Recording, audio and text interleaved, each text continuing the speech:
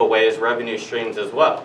So I agree with you. There are a lot of levers that we have to pull, a ton of levers, Right. and they all have to work together. And I think if you look at the financials, I can pull them up. I mean, we have increased our ability to collect dollars from the hunt.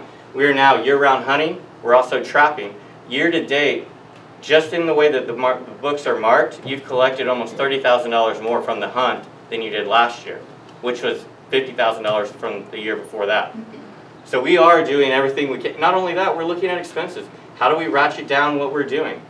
Um, in the financials, I think you can see that we're, we're doing everything we can to pull every lever, ratchet down the expenses, increase the commercial areas, look at where we're behind on assessments. Not one of these things is gonna fix our problem, and it's not gonna fix it fast. Every one of these levers has to be pulled, and it's gonna take a lot of smart minds and a lot of people, you know, facing the facts that this is where we're at. I mean, we didn't make this situation, but we do have to live with it.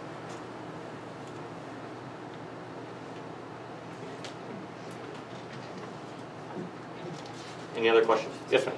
Um, why does the port have lots that they won't sell?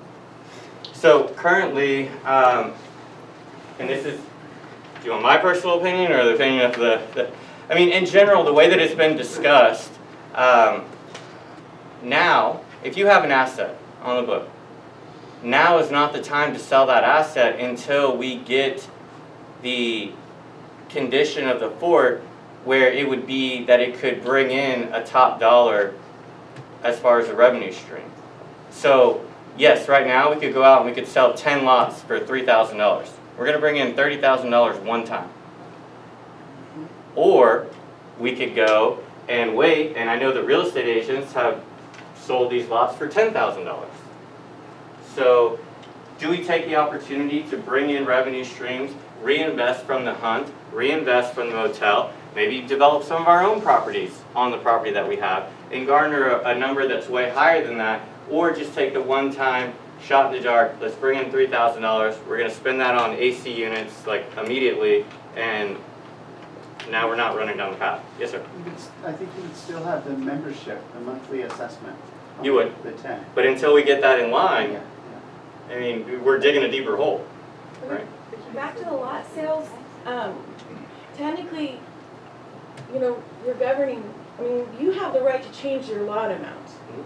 But I don't think the board has a right to stop selling. It's in your declarations that you have to sell. It's like, We have to lot up, we don't have to sell. no, there's nothing about lot ups in the declaration. There's nothing about that in the declaration. What's in the declarations under governing, and I think it's like J, if you wanna look in the book, it says that the, that the board has to sell. If you have lots to sell, you have to sell them. You don't have to sell them at thirty-five hundred. You guys can determine what you wanna sell them for. If you're going to the market, it also says you can go for outside help. But to completely stop selling, if you have it, it's against your governing documents. We'll take that under advisement, I'll be happy to look into the fact that we I can or cannot It's stop. J under governance. Thank you. You have that?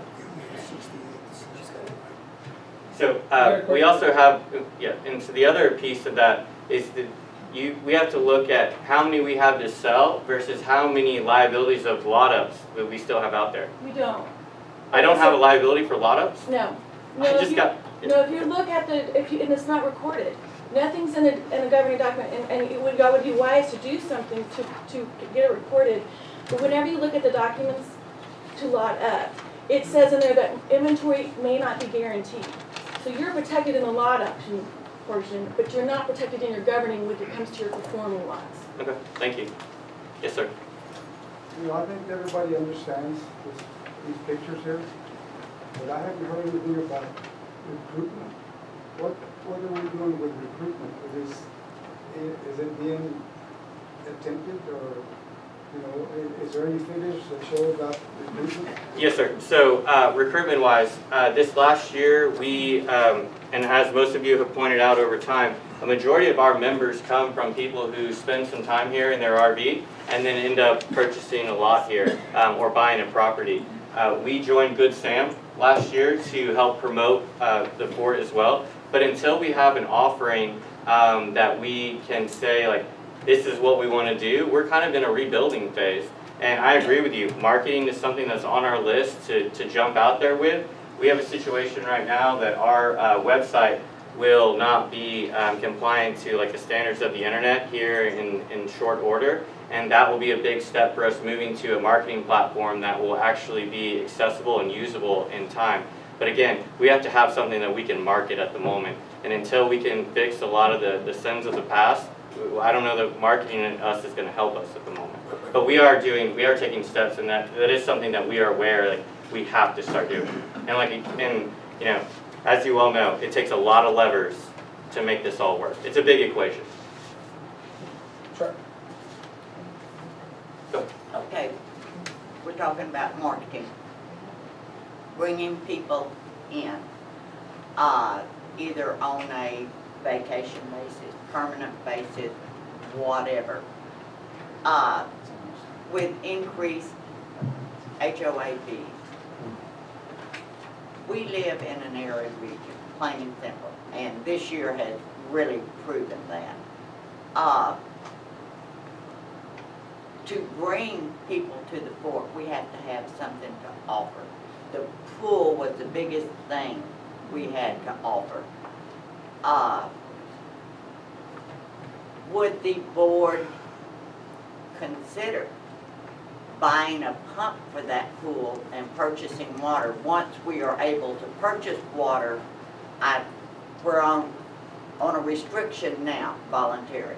And I know it's not feasible right now to purchase water. But in the meantime, if we get the rain, we'll have the pool under the springs, but if this happens again, we would have the pump availability. And also run the pump when we're getting spring water. It would help, uh, slow down the growth of the algae.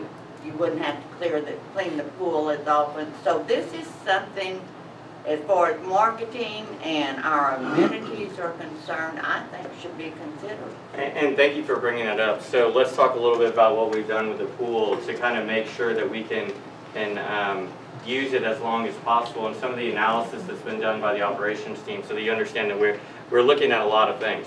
So you are getting a ton of horizontal leakage out of the retention pond because over the last 50 to 60 years, you haven't seen a lot of maintenance done on the, the mortar that was between the stones that were put there in the late 30s. So we've redone, re- repointed that whole deal, looked at other areas that were leaking water horizontally. That will retain water in that retention pond. We also uh, brought the lift gate back into a state where it will hold that water that we've now been able to hold in there. So we're trying to make sure that we're protecting that spring flow. Prior to that, we'd met with Texas Parks and Wildlife, and we were on their list to come electrofish all of the non-native fish out of the retention area. That, that plant matter that they grind and don't swallow, and so they've already broken it down to the point where when the sun hits it, now you've got a situation where you're growing algae much faster. So those were already on the books to look at prior to this situation. Um, we've been in contact with Texas Parks and Wildlife since then to help us restock uh, with native fish that don't grind the plant life, um, so that we aren't pushing to a situation where we're further degrading the water quickly.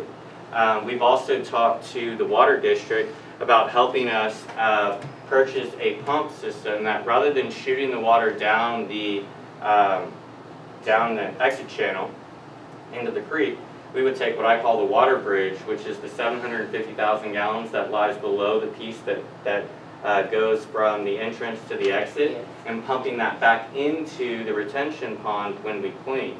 And so it would be diluted throughout the, the retention area that's there, and then allowed to flow back into the pool, saving the 750,000 gallons each time. Now, it's a big benefit to the fort to not have to clean that pool every week. Approximately 33 man hours saved every week. That's a lot.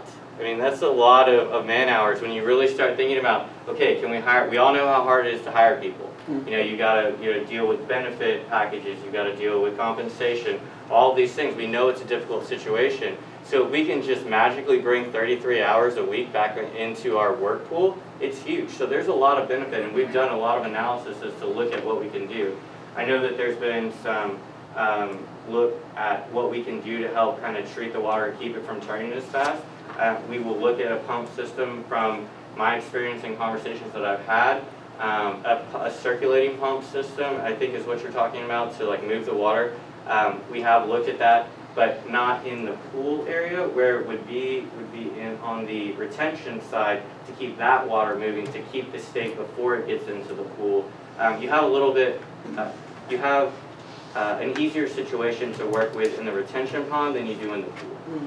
From a liability standpoint, or sunshining standpoint, it's a whole different ballgame. But yes, we are looking into recirculating pumps, um, and aerators to do that. Yes, ma'am? I appreciate your comment, years of sin. So whatever those years of sin, however many years of sin are, we as members should not be expected to make up for those years of sin in one year. Totally So agree. when we're looking at, when you're looking at the increases and the CPI and all of that, I do not believe that as membership, that any one of us is willing to pay in one year for the years of sin. I'm not, I've been here since 2010, and obviously I was part of those years of sin. But I, I am not looking forward to an eight, a nine point one, close to ten percent increase in fees in one year. I mean, and this CPI is not going to stay at nine point one for the next five years. As soon as some things get squared away, um, that's gonna start to come back down, because I imagine a great part of that is due to food and to, um, gas. We're also in a situation here where we are dealing with a drought. How much longer is a drought going to go on for? Um, I'm fortunate that I can do my grocery shopping in other places, but not everybody is fortunate to be able to do that. And so they're dealing with, you know, higher prices at Lowe's and things like that, and perhaps not going into Del Rio or Uvalde, um, because of the price of gas. So while there's a nine point one percent CPI, I think we need to be very cognizant of how that nine point one CPI is affecting every single one of us. And we should not have to pay for the years of sin in one year. Totally agree, and, and that's where you can see that this has been a slow grind back. I mean, at one point, you were twenty-three thousand, no, twenty, twenty-two nine, twenty-three one five two, you were behind per month. And so it has been a small grind back to where we are. And it's not just CPI, it's not just your assessments, it's all the levers. It's increasing the hunt, increase, you know, we, we, we'll call it that we were good at what we were doing, but it was happenstance, let's be honest.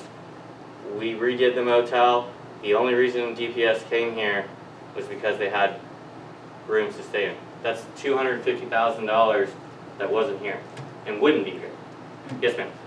So, you said that these forms are just considering the membership. The years that the rate increases didn't go, we did pay for two special assessments, and we've always, prior to last year, paid for a common property assessment. So that did bring quite a lot of revenue, but that's not, that's not counted in this. So there was an influx, but using those other assessments without, That's on a look-back basis though. When you do a special assessment based on a deficit, that means you're doing a look-back. You don't have, you don't have the ability to plan. So how do you make plans three, five, six, seven years down the road if you don't know how far behind you're gonna be? So by doing a special assessment, I mean, I, I, you know, if we wanna talk about a, a kick in the pants or, you know, something like where it's like, oh my goodness, we have to do this, a special assessment at the end of the year, this is over every month. This is a few dollars a month, not a hundred, two hundred dollar check at the end of the year. But you're Let's doing the plan. deficit just off of the regular assessments. You you didn't bring in the credit from whenever we, we paid that, because that would have brought that deficit not as da- as far down. you- you Sure. You understand what I'm saying? Like, last year, we didn't, Yeah. was very thankful that we didn't have to do the common property. And we're not gonna do it this year either. Yeah, but, but to be accurate on your chart, you would need to show a credit of the revenue that came from a special or a common. Well, there's always gonna be revenue that's unaccounted for in members, that's why this is membership revenue. Well, So, there are that's, assessments. that's assess, that's a special assessment, not membership revenue. So, I mean, are we gonna throw in the hundred ninety-two thousand dollars at your board? Is that gonna be hundred and ninety-two thousand dollars that we got in, or the four hundred thousand dollars that we're bringing in from the government on another? I mean, we can't look at the one-time chances and the things that we, like, bring in on the basis of, That's not accurate. An assessment is something that you, if you don't pay it, you can put a lien on your property. So the common property special assessment is like your membership assessment in, in the eyes of the law. It's still an assessment. So I think the numbers are not completely accurate when you're talking deficit. I'd be happy to add the, the, Well, well, is that not what you want, or you just want to make Well, the no, I'm saying that it, this, it's just a little bit deceiving. Travis, can I add Just something? arguing about it. I've lived on the board since two thousand five, and I recall during those periods, it came back to me recently, there was a period where there wasn't a- an increase in the assessment, because if I understand, the CPI didn't, it wasn't above two point five. So at that time, I recall some of the boards, there's some old board members here, they didn't do the increase because it just didn't, it didn't exceed the two point five. But they could have done two point five. Well, they, well, they could have done, but it was below two point five, so I'm just saying that more than likely, that's what happened in the years that we didn't get an increase in some of the assessments. Sure, and I can totally appreciate where a board would say, um, we haven't had any increase in expenses, and so we don't need to do, uh, an increase in the assessment. What I would challenge that with is, you maybe didn't have an increase in expenses, but you were spreading it out over less people. Well, also though, the twenty sixteen declaration took out the, because there used to be a dollar amount, two, two hundred and fifty-two dollars. So up until twenty sixteen, which has kind of been a nightmare, since now that we're stuck Agreed. with this, that, that, that, that cap was taken out. So now, it's a free-for-all for all the next boards to kind of really stick it to us. And like I said, we're only gonna have one thousand five hundred and thirty-five performing lots if we do not develop any new new developments, once we clear off all that non-performing. So we do need to put our hats on, we need to figure out how we can sell two thousand FRMs. But like she said, we need something for people to wanna come here. And then we also need to like, make, you know, our, our, commercial entities, make the customers pay more. You know, I mean, make us feel like we're special. I don't feel very special right now. We've raised the rates for the motel, we've raised the rates for the hunt, we've started charging people that are coming from outside for the pool. Um, I think that these levers are all things that we're gonna continue to consider and that we have considered. Um, and as you'll see in the next few items, we have many more rate increases for outside members versus, uh, the members that are here. So we are looking to pull in dollars from the outside, we just gotta have the resources to be able to do that. Well, that would be helpful for this, if we can actually see what the public is paying. Because if we have a visual to see, you know, because right now we feel the back, it- on the vested people, not people that just own lots or FRMs, but the people that actually have their, their homes here and are really vested here. If you can kind of show us, you know, how, because right now it sounds like you'll benefit more if you lived in Brackettville versus if you lived on a fort, and it shouldn't be that way. Have you driven in Brackettville recently? But yeah, but if you have access to come over here and use our trash and our pool and and everything else, whatever, we might be able to just sleep over there and not have to worry about paying all this stuff and then just spend all day over here. You know, I mean. Yeah, I agree, this is one piece of the puzzle, and that's why we've been trying to bite this off in small chunks. You know, we talked about CPI last month, we're talking about the membership assessment side here. Um, there's a lot more pieces, and I think over time, we'll develop things where we can quickly show throughout the years, like, okay, these are the different pieces, we're developing this. Um, you know, this is just one stab at it. I mean, this is many, many hours of work to put this together and also go back and verify and back into it different ways. And multiple people have worked on this and we'll continue to bring you information and what you want to see, we'll be happy to do that. And thank you for giving us the information that you'd like for us to present as well. We're happy to put that together. More thing, Travis. We, we will have an increase in our assessment. Uh, when it comes due, the common property tax will probably be raised, so we will have to pay more for that We, also. we have budgeted for the common property and, and I don't foresee us having to do an assessment to cover common property. As, the- has, has been done in the past. So we will not be assessed for common property tax. I will not vote for a common property We assessment. haven't had a special assessment for two years. Technically, with this twenty sixteen declarations, they're not allowed to do the common property. They- They only address the mud portion. The only other assessment, as, as of, we're stuck with this declaration, would be the special assessment. The special assessment can go up to, right now, it's like a little bit over fifty-six dollars per lot. Because it's based off of every time we do raise the assessment, the board can impose a special assessment up to ten percent of the annual amount. So every time we do go up on this one, there's a potential that they are, they could do that for any deficit for any year. But the common property, as of the way that it's stated, they really can't impose that anymore. the way that it's set up. And that's a, the whole other conversation as far as like what's in the, what, what are the levers um, that are out there? I don't think that a, um, you know, I was in an HOA that had a big issue and um, assessments to the point where uh, insurance actually kicked in. And I don't ever want to see us get there. So, you know, that's, so the more we can do to plan. And last year, there's a gentleman that sat right here in this chair and talked to us about assessments and talked about being on a fixed income. And I told him that the best that we could do is to make sure that we tell everyone what our expenses are, what we're doing to make sure that those expenses are going down, and where we are and how far we are behind, so that everyone can plan their lives accordingly. That- That's what we have to do. Um, And that's the best we can do. Worst case scenario for me personally, I own two lots and one residence. Worst case scenario, how much more are you gonna charge me a month? What am I looking Um, so the one, so the max, we had two different calculations. The max was between, Uh, I have No, not 808. sixteen, I have eight oh eight, what did you About have? sixteen dollars. uh, seven seventy-seven, so for your residential it'd be three eighty-four, and then for the extra lots, it's three ninety-three. So if you have two, so eight dollars It would- on well, your, if, if it's a single, yeah, and if it's the full. Like, and that's if you do the full thing. exactly. Well, that's what she was asking for Well, she said two lots, so the two lots would be an eight dollar increase, three ninety, three ninety, Plus the Plus the residential. resident. Plus plus the the residents, I get about twelve. So you're around looking at twelve. twelve, Yeah. at? Ooh, okay. twelve dollars a month. That's max, That's what and I'm we don't have to be, That's what I'm asking, worst case scenario. Okay.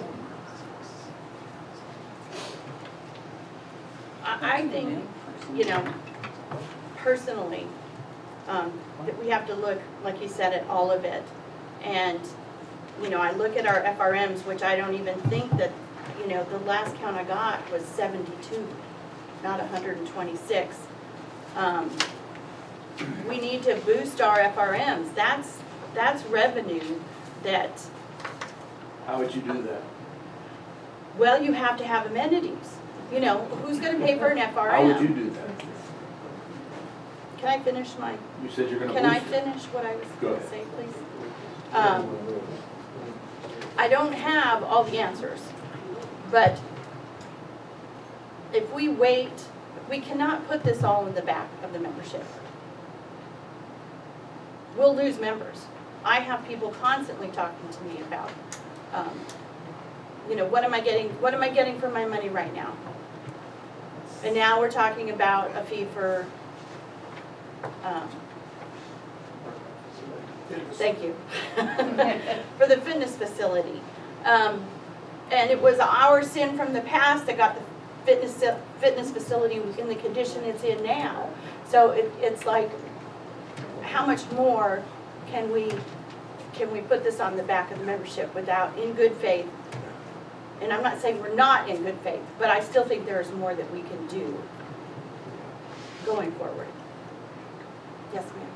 I would like to see a chart or something that shows us what, what the HOA fees are across the state of Texas and not just with Fort Clark Springs. Let's take a look at what other HOAs are paying that may not even have the amenities that we have. I would love to see that. And, and I'll work with some other people to put that together. I'm, I'm willing to do that, but I, I think we need to not be so insular, um, with, when we, when we talk about HOA fees. Well, I've looked at a lot.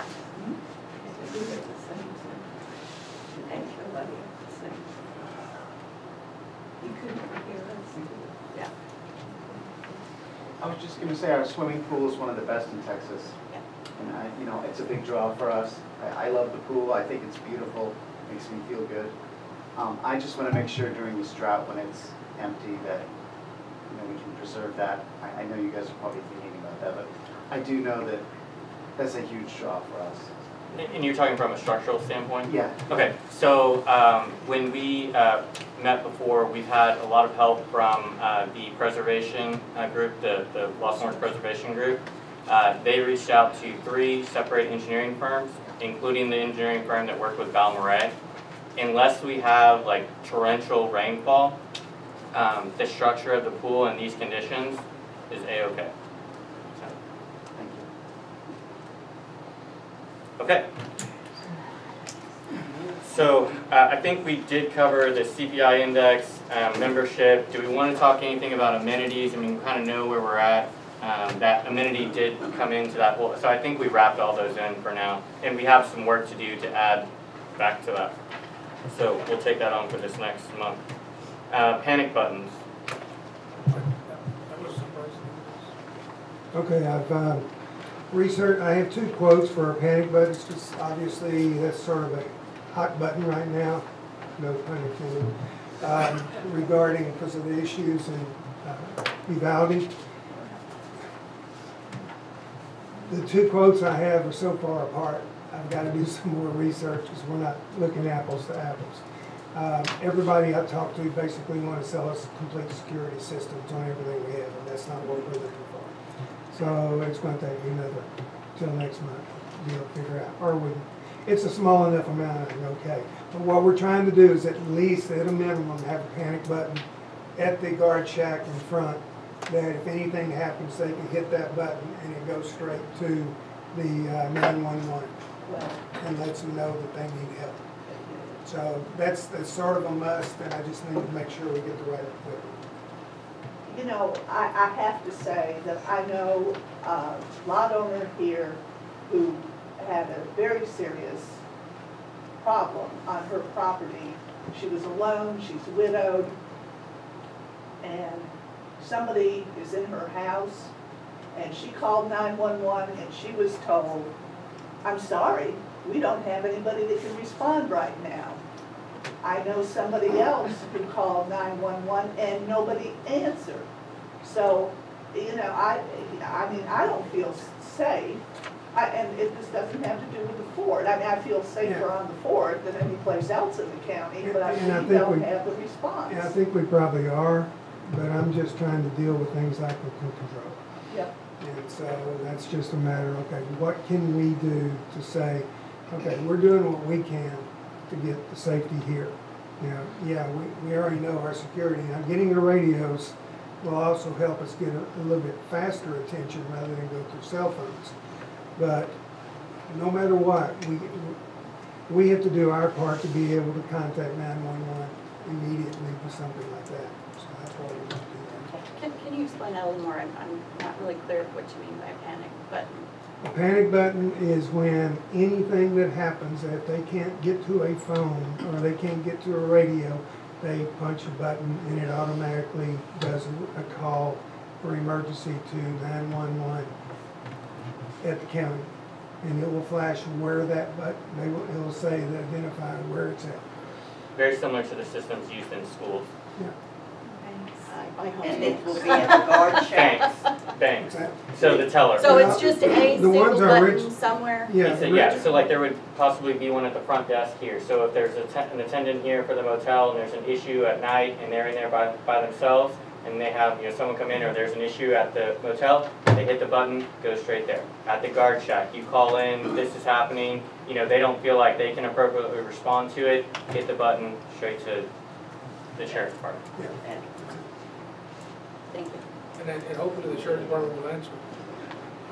We did our part. I mean, it, so this goes to the thing, county commissioners meetings, go talk to them, tell them what you need. Does this, uh, would this affect our insurance? Would it It'll lower probably our help, insurance? it'll probably help Do we we, know, I, I mean, like, if you talk to them about what that would do, or? I haven't. We have a meeting, I don't know when the rest of, she hadn't said when, we'll have a meeting with our insurance people in the next couple of weeks. I think as a whole, like us doing stuff like this, yeah, definitely helps. You know, in the realm of security and safety, uh, I'm hoping that we can, as neighbors, we can continue to look out for each other. Uh, I have a friend of mine that lives over there off of Pompeii and uh, Bull Lakes, and she had two scooters out in the front yard for her kids, and all of a sudden they walked away. And I asked her if she reported to security, she said no. I asked her to report it to so- ESO, she said no. But that's the first incident I've heard up to today of someone's property being stolen right in front of their house. So FYI. All right, so um, we had an item brought to us that we wanted to discuss the role of the general manager. So uh, we'll move to that discussion at this point. Okay. um, There seems to be a question as far as my recommendations or my qualifications. So I've prepared a resume for all our board members that have questions. Since when I applied, I only did ten years worth of history. That goes back to the day I was a ski bum in Colorado. Um, And I also will recuse myself from the conversation here. Y'all have fun.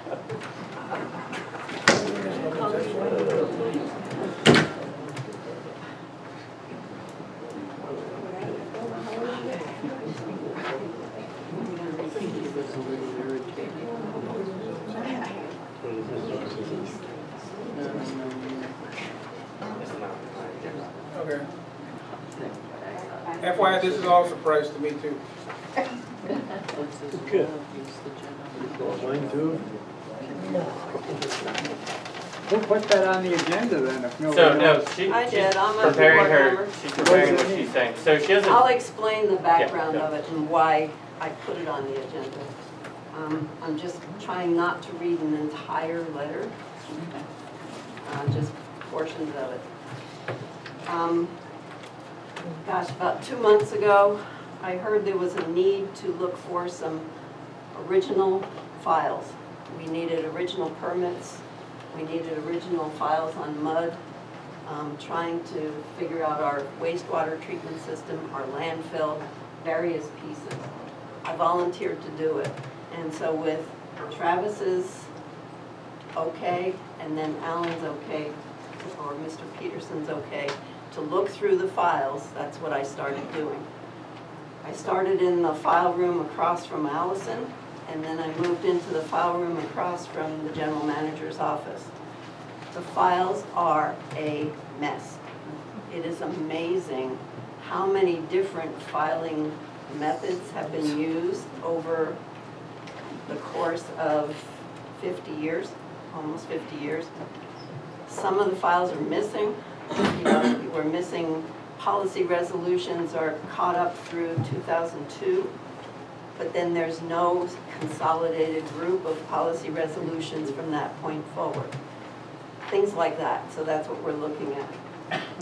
Through that process, I found, I was looking through uh, the board minutes from 1977, which is fairly uh, way back. It was the beginning of our, of the, the fort. And I found a letter from Jim Hester, who was the general manager at the time. He was uh, a little bit frustrated with the board because they kept trying to meddle in what he was doing. So this is some of the stuff he wrote. Um, I'm not going to read the whole thing because it's a long letter. I have inherited an organization that is very incompetent in many areas and overall is very inefficient. The supervisory staff was something less than professional at most locations. In the past five months, I've made changes at four department supervisor locations, three on are improvements, one maintained a good level. Other changes are planned at the proper time. Any pressure applied to me by individual directors may delay these changes, since it interrupts the evolution process. Uh, I am a professional manager with a successful history of management, and that's what this addresses. That's why Alan did a, showed us his resume, which, you know, we'll go through as a board. I cannot, cannot correct all the problems. This is 1977. I cannot correct all the problems of Fort Clark Springs Association in three months, five months, six months, or perhaps even a year. But I will diligently try if I have cooperation and understanding from the board. Having a number of new department supervisors plus some older ones with bad attitudes and bad work habits makes the process much more difficult. The worst, the worst problem is the endless stream of directors, department supervisors, members, committee members, and our, in our office, offices all day long. His assistant at the time was named Paula. Paula and I must have some time to do our work rather than with some rather strict rules um, that he's putting into effect to have people cooperate with him. And it goes on with things, he talks about quitting, you know, Who was this? this was Jim Hester. But who was it written to? It was written to the board of directors at that time, that's why I found it in the board minutes from nineteen seventy-seven. It was from November second, nineteen seventy-seven. It just hit home because of, of all the documents that I was finding and the things that I've been watching since I moved here three years ago. I've only been here three years, so I'm asking a lot of questions. I don't know everything by any stretch of the imagination. But I'm asking a lot of questions, and that was one of the questions, what, what's going on here? And when I saw that, I'm going, wait a minute, that's kind of what we're going through now. Mm-hmm. So, all right, what's Alan's role? What's Mr. Peterson's role as general manager of the fort? Would someone else start that? Well, let me ask you a quick question. How long did you have, since you have that documentation, do you have documentation showing how long he was here? How that, yes. Did I it last do. six months, did it last six years? Hang on. Yes, I do. She's busy. Well, while you're looking for that, I mean, I think it's pretty clear that the board prior to us did a, a, a good job um, putting together an employment agreement and, and specifically outlines the, the roles and responsibilities of, of the general manager. Um, so as far as his roles go, uh, I think the employment agreement is, is very succinct in, in putting that together. Um, you know, I, I, I would encourage everyone to review that agreement. Um, Where, where is that? Well, actually, the- we, the, the role that we, the people have is in our bylaws, and it says exactly what, what, what we, the members, expect. A question, and I'm not trying to be disrespectful or anything, because that really wasn't helpful for the association to hear again about the sins of the past. But before two months ago, I guess she would have been a volunteer. Did the board protect themselves? Did, did she sign the Absolutely, so, Yes. Yeah, yes, we did. We actually brought it before the membership. We talked about it in the membership meeting and that we did agree to have someone come in and look at the documents and any documents that were deemed as far as personnel. Yes, we did cover ourselves. But I'm just saying that this, hmm. this is being recorded and someone can go on YouTube. They can go on YouTube we and find to when we try to talked about promote it this place and this kind of like always bashing it is, is not beneficial. I think it for is the future. beneficial to find documents from our past that show like if we continue to, As board members, absolutely, but to kind of spew it to people that, you know, we don't have any, these are your documents. the nineteen seventy. That's your document, it's your minutes. You can request that at any moment. That is your document as a member. And I just think that. I think the trying, point, trying, I think, I'm assuming the point you're trying to make is, why rehash something that happened almost fifty years ago? Let's, let's. We're here today, you know, I believe we're an effective board for the most part, and, and I've been supportive of Mr. Peterson, you know, so I'm, I'm But kind what's of, a public record for all of us is that he has his roles as executive officer, you know, and, and that's, that's what's a, you know, it's, it's stated for official public records. His personal staff should not be, the we're not a, we're not a government entity. We don't need to know necessarily, you know, like all the ins and outs. We're still a private organization, so his privacy should be kind of protected. But we should also know his roles, and that's what we get to see in, in, in, in this bylaws. Remember, this letter is not from Mr. Peterson. Right. This letter is from 50 years ago, almost, 1977. Uh, Jim Hester was on the board, was a general manager for one year and eight months. The longest we've had someone was six years and nine months, and that was Jean Britton. Actually, longer than that was Janelle Hobbs, when you add up all her time. All as of her being- various times. she wasn't. She wasn't even, she wasn't even ever an officer. Right, uh, she was, yeah, several So different I, I think the, the, the overriding goal here is that there is, there is a clear set of expectations, as Brianna pointed out. Um, there is a job description and there is a, an evaluation process that's being developed. So, uh, as membership, please, um, understand that, that we're not just kind of flying by the seat of our pants. There is a process. We do have things that we expect of the general manager and we're developing a review process that again wasn't here, um, prior to us. So, just to keep y'all informed. Did you say the job description is being, he has a job? Yes, he, yes, when he, yes, there's an agreement that he, you know, agreed to with the board that put him in the role. And, you know, uh, that's how we will build our review process based on what he agreed to uh, when he came in. Yes, sir. The previous board, or the interim board, made this description for the general manager, is that correct? Correct. Okay. So it was prepared, before, he accepted the job. Correct. Okay. Is there any reason that he has not followed his job description?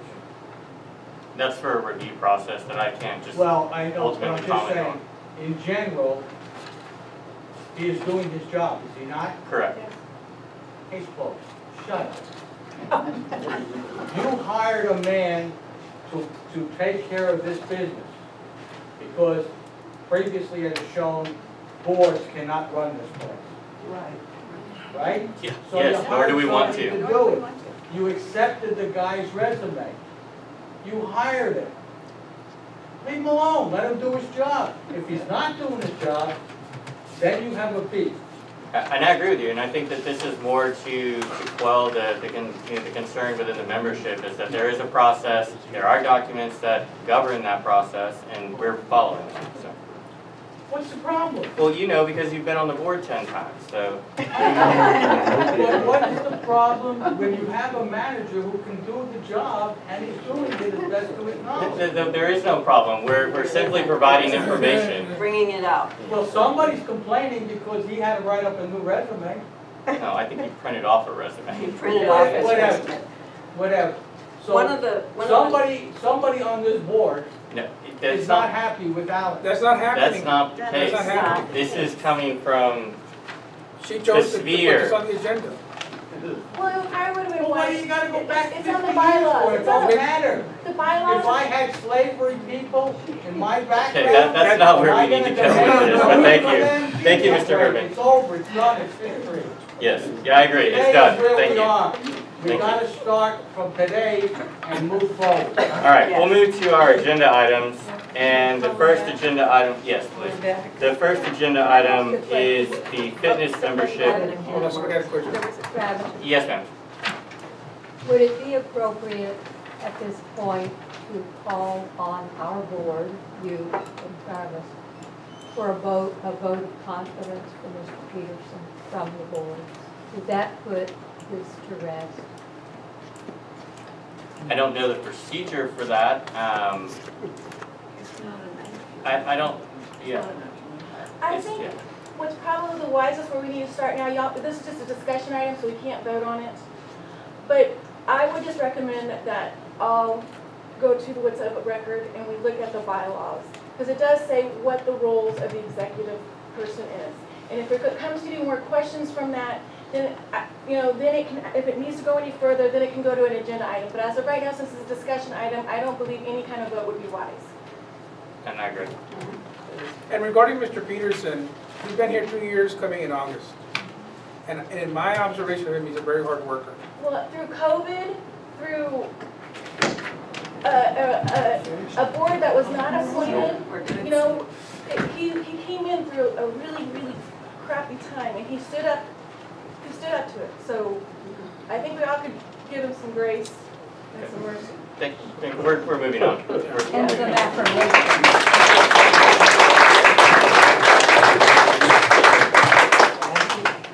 So, consider the approval for the fitness member, membership fees, twenty dollars a month for non-members. I'm assuming we have further background on this. Well, if we're go any further, just for non-members, correct? right now, yes. Uh, Mainly because the fact, I think we were talking the other day, because of the fact we are so short on amenities for our members.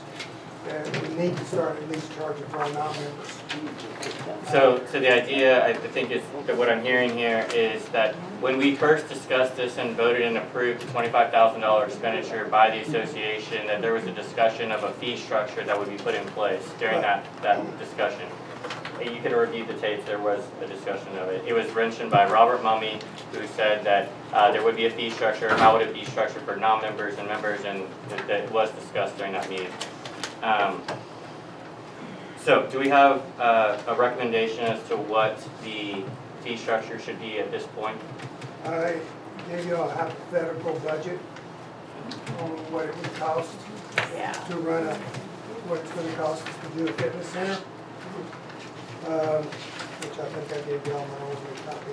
Excuse me, Mr. Peterson, could you just pull your mic a little closer? It is- it's not working. I'm in the back. Oh, is it not working? No, it's working. Oh, is it not working? They weren't working. I'm sorry about that. It's working.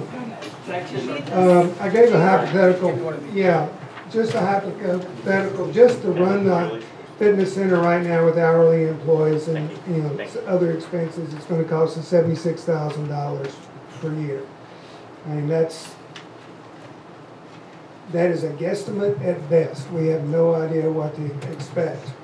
Um, but that would be working with, with the assumption of maybe ten fitness classes, which would be a cost for a fitness class, which would be individual. But as far as the hourly rate just to run the place is around fifty thousand dollars. Um, then, and the reason I went with the fitness center first is because we need amenities to promote our hotel. And the DPS officers, the one thing I know about people that stay in a place for two weeks is they want something to do. And we had to protect the market we had with the DPS because that's why we're making money. So uh, just the payback for having them there qualifies for doing the fitness center. But that is a temporary thing. That just allowed us to do it. Um, Credit, any guest from the RV park or the motel, they sign in there at the fitness center, that credits from the revenue in both the motel and the RV park. So, you know, we can get probably twenty-five thousand dollars of credit just from members there. That still leaves us around thirty, thirty-five thousand dollars that we are, we are not covering. So, if you do a ten dollar a month for members, then you're looking at, then you have to figure out how many members can you get from the membership. Now, a lot of people will qualify to get Medicare supplements from their insurance or any other insurances. That's one thing we have to pursue. Can't pursue that if it's zero. So my recommendation is ten dollars for members, twenty dollars for non-members. And just go with that and see how it works. And know that it, this is a first-time shot. We need to see how it works. We're lucky at the time now that it is keeping our DPS officers here. So we're getting the revenue back up from that. Can, can we talk a little bit more about the volunteer basis for the DPS officers? You know, the DPS officers right now have their choice of where to stay. They're not told where to stay or anything else, so it's basically, they're wanting to stay here that has them coming back here. Almost all of them used our pool. And that was a very big plus for them. They were going down there and working out there, they were relaxing, they enjoyed the pool. Obviously, that's not an amenity that they can run right now, so we started, and we don't have a restaurant. Uh, so, you know, now at least we have something for them. That's why we changed working at, opening up at six o'clock and staying a little later, because that's when they're working out. So they are using it. So, you know, it's just a matter of, okay, what are we gonna preserve to keep that hotel full when we don't have a pool? Did they use Creekside and Dickman? They very rarely use Dickman as far as the bar. There have been a couple that have, but not on a consistent basis. Creekside, I don't know yet. I've, we've, we've encountered a few golfers down there that have taken some time Yeah. to, to do that, and um, yeah, I mean, it, it's sparse, but I mean, if we were running with both the fitness center and, and the pool, oh, we'd have every I mean, officer here. then you got amenities. Possibly. And could. yes, I would love to have a restaurant, but the cost benefit of a restaurant wasn't anywhere near what that benefit was down there. So that's, that's why we went, that's why Is we it made in that the future, Alan? What's that? Restaurant in the future? Well, that's when we have to start realizing Long-term. exactly what kind of money we have to work with. Because if you look, and this goes to- back to your assessments, okay, what kind of hole did we dig ourselves in? Well, if you just look at how much of your money from assessments goes to capital fund, you only bring in seventy-five thousand dollars a year to fix everything in this fort. Is a capital repair. That's fixing every, that's repairing every building, that's repairing every vehicle, that's repairing the pool, that's repairing everything we have. Seventy-five thousand dollars for everything. Hickman Hall would cost you two hundred and fifty thousand dollars just to fix that back up the way it should be. Creekside's probably gonna be fifty to sixty-five thousand. Air conditioners now are running twelve thousand five hundred dollars each for a five-ton unit. We probably have over fifteen of them that need to be replaced in the fort that do not work. So, without a reserve plan, which we had never had, well, there was one, have not had an accurate one, we really don't know what to expect. But I am, I have gotten it to the point that I know our assessments will give us seventy-five thousand dollars capital improvement. Okay, now we need to do a reserve plan on where we're gonna spend that. Fortunately, because of the revenue from the motel, if you took twenty percent of that motel revenue and put it into reserves, that gives you an extra four, eighty thousand dollars. That's where we're getting the money to fix things now, is from the motel revenue, the RV park, although he said it didn't make money, it just didn't make as much as it did. It's still gonna make about ninety thousand dollars. So if you take twenty percent of that, that's another eighteen thousand there. The hunt, if you take twenty percent out of that, there's another twenty thousand you get. So that's where we're getting our money to fix things right now. But that's, and if we build on that, then okay, that's something we can look at. It, it may be consistent.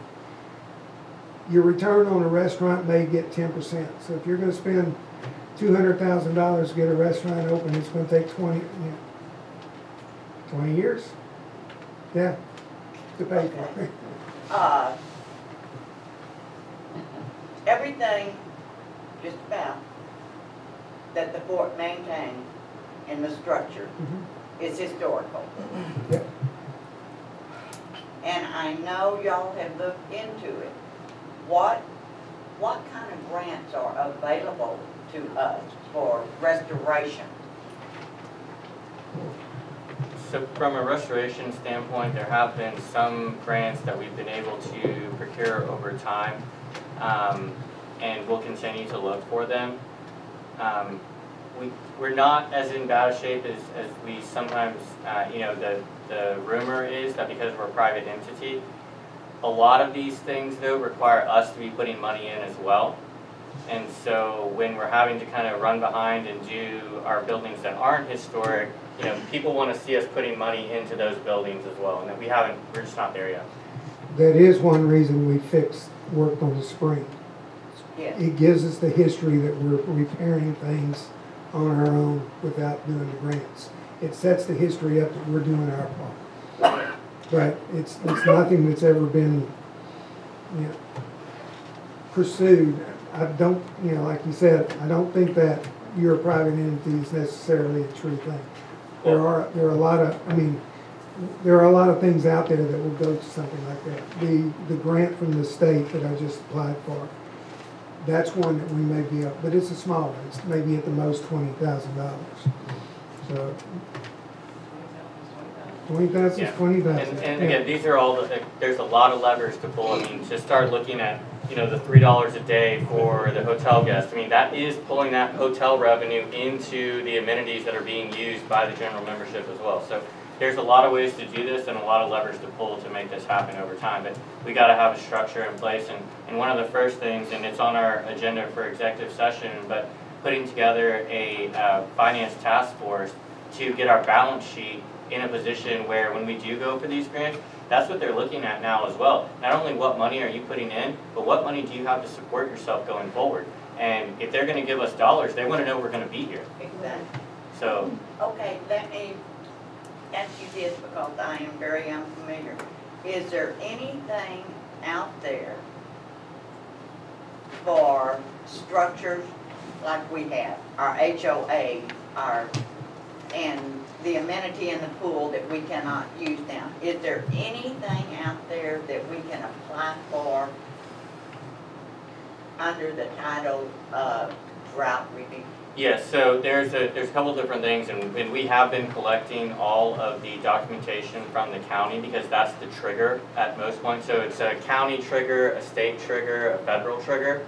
Um, that allows you to then apply for grants from the state um, based on that. So we've been collecting those documentations. We actually did apply a few months ago for uh, the ERC, um, which was a benefit for approximately $15,000 per employee that you were able to keep on staff through COVID. And that at the time was running uh, four quarters. They've amended it to five quarters, and I'm assuming we're going to probably get to eight quarters of relief of if you were able to employ uh, people over that time, you will get a credit of $15,000 per quarter per employee. So there are things that we're documenting, applying for, um, making sure that we're hitting all of those resources uh, as far as collecting the dollars that are out there for us. So yes, we are looking at those levers as well. I haven't seen anything for drought relief yet. Not yet, not yet, but, but it will come. It's generally afterwards, but it, that's why I sent that around the other day when we declared the Declaration of Invasion. I mean, that's one of the things, that's one of the triggers for it, is what your, first your county does, then the state, and then federally, what happens. Yes, ma'am. Uh, Back to the um, agenda item about the membership fee. Um, Mr. Keating, can, um, maybe just a suggestion, just, um, maybe like, you know, the residential, people have residentials, which means, which, which is in compliance with our rules and regs. The people that, you know, husband and wife, they would, that, the, the gym would be free to them. However, if they have a family member that they can no longer claim on their tax return, like college kids coming here, maybe we charge them ten dollars a month because they're not really technically, I mean, they're it's still, it's like a guest of the membership. And then FRMs, since they're not vested, they don't pay a residential fee. They do the ten dollars and then like you said, the public that are just renting or, or staying at the RV park or whatever, they, unless they decide to get an FRM, they pay twenty, twenty-five.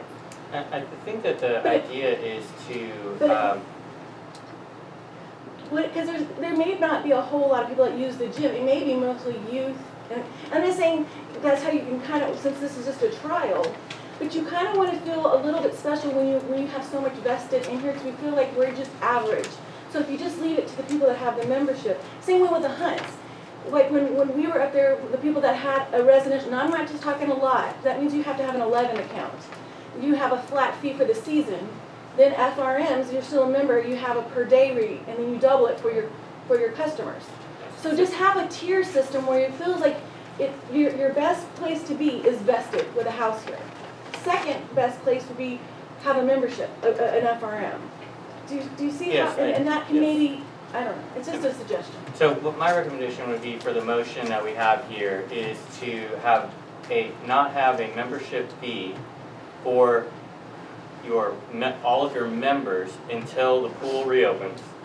Non-member fee of twenty dollars, and between now and when the pool opens, we decide on a scaled system, as was just mentioned, for the different levels. And so that we get some money on the books for non-members, um, and we start moving forward, but we say like, we will have a fee schedule in place by the time that the pool, and we will move to a fee schedule that we agree upon, whatever that is, fifty cents, ten dollars, however it plays out, based on the different levels of membership. And that would be my recommendation for the motion. My recommendation, um, is that we charge non-members thirty dollars. The members nothing, and wait at least a year to assess where we're at in regards to how much we're spending at the fitness center, how much it's costing us with employment. A curious question, Mr. Peterson, are we staffed at hundred percent? I don't think we'll ever be staffed at hundred percent. Are we staffed, let's say, if we need, if, if, if we had eighty employees, if we needed eighty employees, we're what, at sixty or fifty? Staff and. More, more or less overall? I don't know what your point. Okay, well, I'm- I'm leaving to my point. If we needed, eight- if we had enough money to cover eighty employees, but we, we only in actuality have fifty or fifty-five, we're still short twenty-five people, but we can afford another twenty-five people.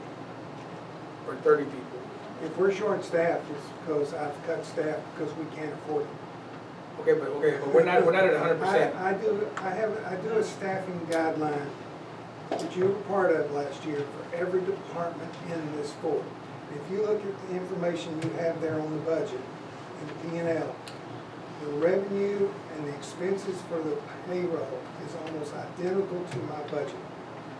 I have not missed it hardly at all. That's because I use a staffing guidelines